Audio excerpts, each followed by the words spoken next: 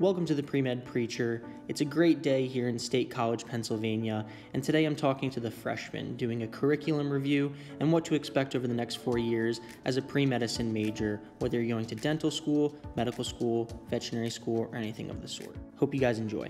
Familiar,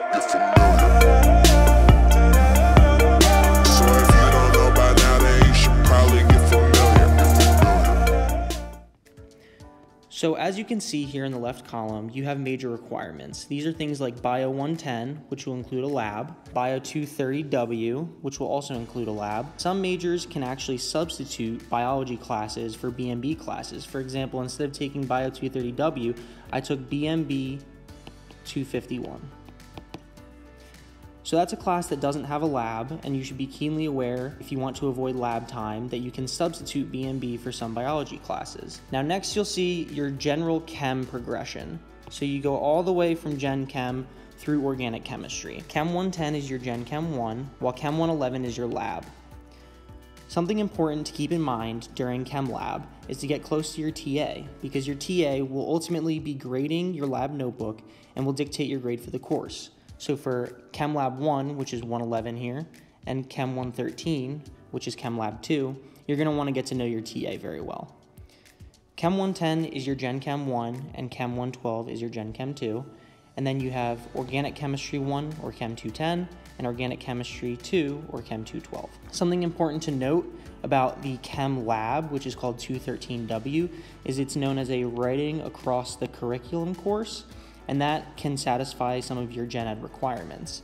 Uh, one thing I will mention is that Bio 230W is also a writing across the curriculum course. As we continue, you can see Health Policy Administration 101. This is a course that is specific to pre-medicine majors. You might not have to take this even if you are on a pre-medicine route. You also have to take Calculus 1, or this would be the equivalent of Calculus AB in high school, and Calculus 2 uh, Math 140 and 141. You are going to have to take Nutrition 251, where you go over things like carbs, lipids, proteins, things of that nature uh, with nutrition. You'll also have to take this course right here which is medical and healthcare ethics. Uh, and that's a course that, again, is specific to the pre medicine major.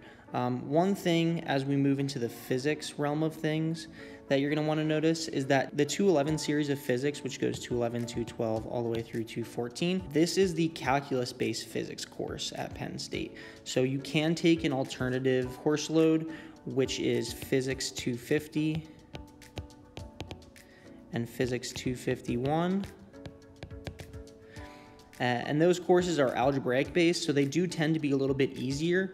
But if you are a pre medicine major specifically, you're going to have to take this calculus level course where 211 is your mechanics, 212 is your electricity and magnetism, 213 is your fluids and thermal, and 214 would be your waves and your quantum physics. And then you have to take an introductory psychology class and an introductory sociology class that sort of works on evaluating and deliberating sociological assertions. Now, as you move to this right column here, you're going to see your optionality for coursework kind of increases.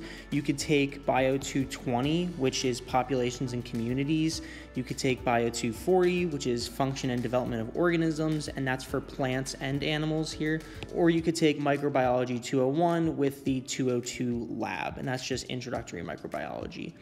Um, statistics, you have to choose one of the two types of statistics class here at Penn State. Stat 250 is biostatistics, so it's kind of um, more a statistics class that focuses on a biology setting, uh, an application, where Stat 200 is just your typical statistics class.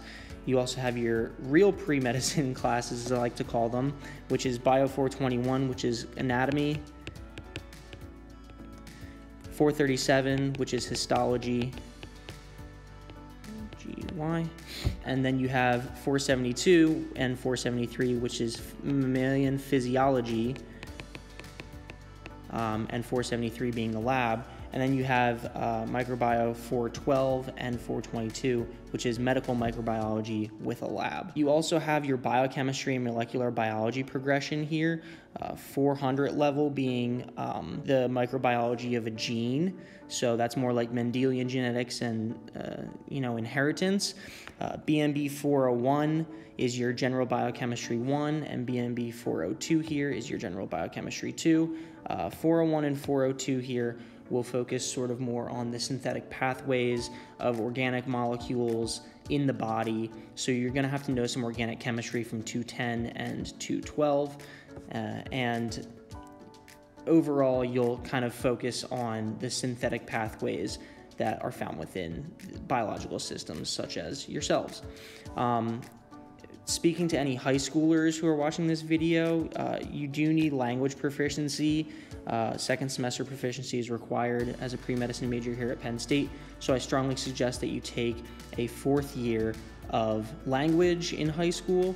Uh, some, they do make exceptions for three years of language experience, but I do suggest taking a fourth year in high school, and that will completely waive these requirements uh, for language proficiency.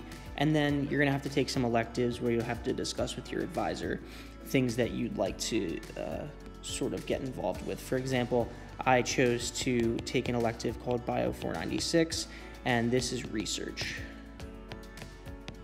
So if you are able to get into a research lab, you can enroll yourself in this course and get credit for the work you're doing.